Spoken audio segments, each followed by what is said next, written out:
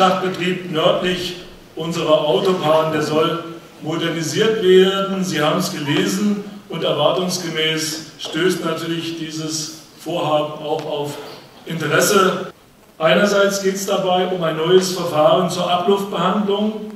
Andererseits plant Blucon die Schlachtkapazität von bisher 127,5 Tonnen auf zukünftig 250 Tonnen am Tag zu erhöhen. Kurz würde ich gerne eingehen auf die aktuelle Diskussion um Maststelle. Auch in Gudensberg sind in den letzten Jahren mehrere neue Mastställe im Außenbereich der Stadt gebaut worden.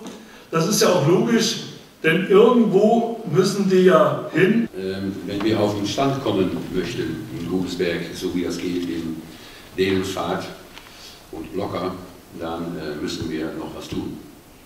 Wir brauchen eine neue Schlachtanlage, eine neue Bratfertiganlage und diese Berufsgeschichte äh, ist alles zu klären, aber dafür brauchen wir natürlich die Genehmigung. Und dann können wir damit auch sofort loslegen. Das sind die Schritte, die wir vorhaben. Ähm, die Angst war Mengen mehr, doppelte Mengen habe ich schon gehört. Äh, Im Moment schlachten wir, ist bekannt, 70.000, 80.000 Tiere. Die sind alle ziemlich leicht. Was wir gerne wollen, ist Richtung 100.000 Tiere, die schwerer sind.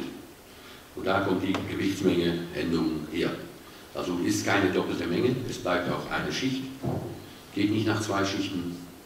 Äh, und ich hoffe, dass damit dann das Thema auch ein bisschen deutlicher ist. Was hier in, in Goesberg geschlachtet wird, kommt für 100% aus der Massentierhaltung. Das mag ganz deutlich sein.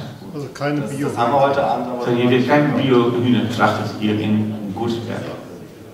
Habe ich gesagt und das will ich auch gerne hier noch einmal äh, gerne erklären. 100% kommt hier aus Gut, dass hier geschlachtet wird, kommt aus die Massentierhaltung. Zogenaamd, wie Sie das sagen, ein Stall mit 40.000 Tieren. Eine Nachfrage von meiner Seite. Unter welchen Voraussetzungen würden Sie auch äh, andere Tiere hier schlachten? Also Biohühner, sage ich mal, was müsste gegeben sein? Oder was ist das Problem? Die Biohühner, das, das ist fast 1%. Und dann redet man über, äh, ist das, äh, äh, 800 Tiere, glaube ich. Das, geht, das hat nichts zu tun mit, die Biohühner sind viel zu teuer für die normale Menschen hier in Deutschland oder in Europa. Als je nur für die sehr reiche Leute, Ärzte, Notar, die das bezahlen können und möchten. Oder man muss weniger Fleisch essen. Das ist die Wahl, was man dann zelf machen muss.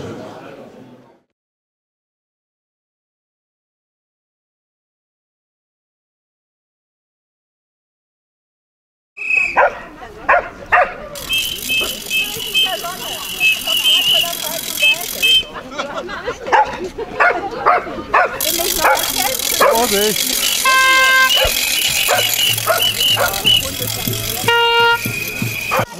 Wir wollen keine Tierfabriken, weil wir in